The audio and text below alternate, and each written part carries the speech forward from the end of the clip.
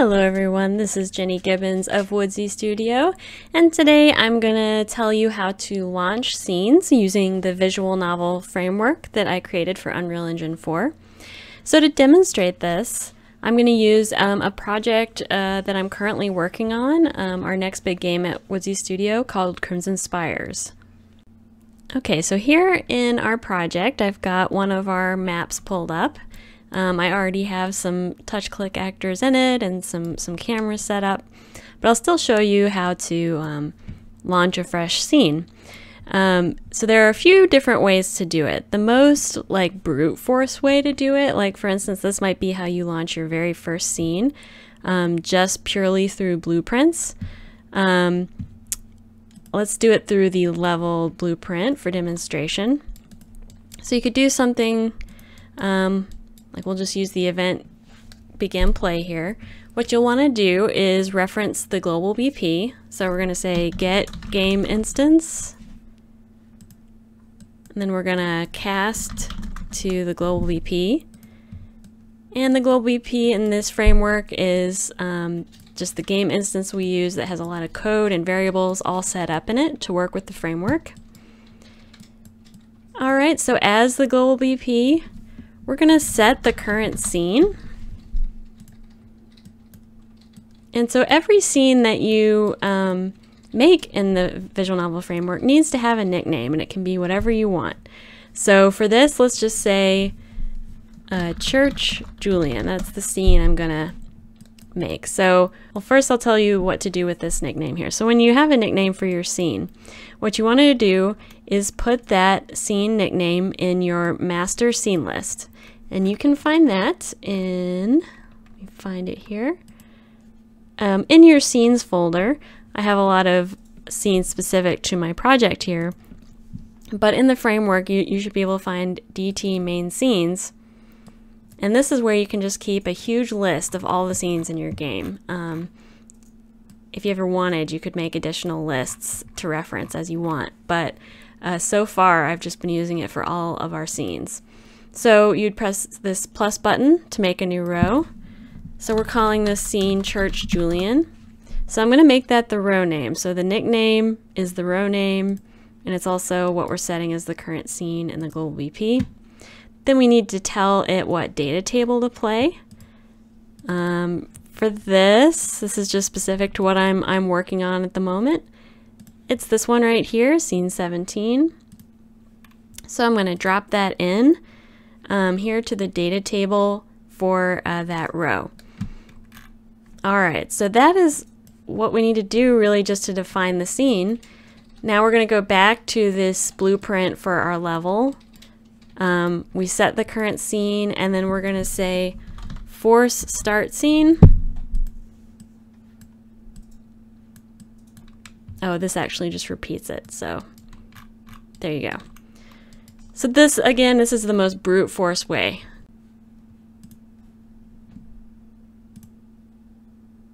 So as soon as we press play, it um, starts that scene with all the code intact and starts to play. So that's the most brute force way, but probably you're not, you're generally not going to be calling scenes this way. You want the player to call them maybe when they interact with something, or you want one scene to follow another scene. So um, what you can do is create a touch click actor to trigger a scene within the game. And if you go to, to excuse all my other folders here, go to your blueprints folder, go to touch click BPs. I've got all these B, uh, touch click BPs I've already created.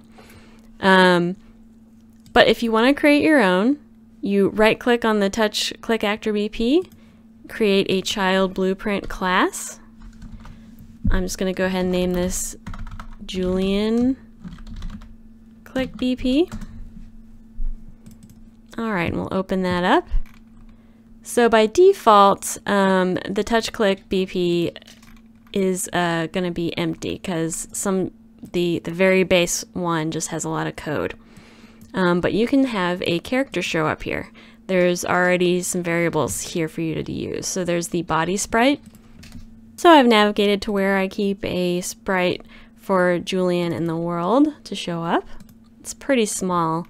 I'm probably going to make a higher resolution one at some point just so it looks a little better in the world. But I'm just going to drop that in as the source sprite. I'm going to make sure it's visible. Yep, uh, visible there. Hidden in game. No, okay, that's good. So it's going to show up. All right, so now I'm going to go back to my touch click BP folder. And we're going to try dragging this in the world here. All right, so he's going to show up in the world. And because he's uh, a sprite that we don't want to look 2D, I'm going to um, make sure that he rotates to face the camera. So turn that off. Okay. So now he will show up here and he'll rotate to face the camera. But nothing happens when we click on him. That's because we haven't set up a scene to play. So nothing at all is happening. So in order to set that up, we're going to go back to the touch click BP actor we made. We're going to go to the event graph. Right now it's just inheriting a whole bunch of code from the touch click actor BP, but we want to overwrite a very specific function. And to do that, we're going to go here to the functions and we're going to press override. So there are a lot of functions here, so you have to find it. But the one we want is called pick local scene. So here it is. I'm going to overwrite that. I actually don't need to inherit anything here. I'm just going to create my own new code. So here's where we can um, tell this touch click BBP what scene we want to play. So again, the most brute force thing we can do here is just enter the nickname. So it was Church Julian. And that's it. We've told it what scene we want to play uh, with the nickname. So now when we test it out, here he is. We go up, we click, and the scene plays. All right. And there are a few different things you could do to have him show up a little bit better if you wanted. You could, uh, let's see, let's have him add a special effect here called Fade In Sprite. So right now I said fade in, he's going to fade in. Excellent, that looks better. But we can also just take out his spawn code entirely. Set these to zero. And because we've uh, clicked on spawn character and we go and tell it that we want it to spawn Julian, then when you click on him, it'll actually go ahead and spawn him for you. So that's a nice little feature that's uh, that's already set up for you in the touch click actor. All right, so that's another way to launch a scene, and uh, most likely as you're getting into the nitty gritty of um, your game, you're going to want to have a lot of conditions with these. So what you can do is just pull up the global BP variable. That's already something the touch click actor knows. So you can just reference it by typing it in. You want to reference the master choice log, which tracks all the choices you make in the game. And for this example, like I only want this scene to play if uh, you've not seen it before. So there is a choice here in this scene, um, and it's choice 14. So what I can do is I can get 14, get a reference, number 14.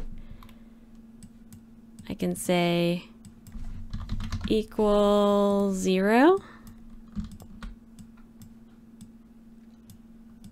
So if that's true, I want the scene to play.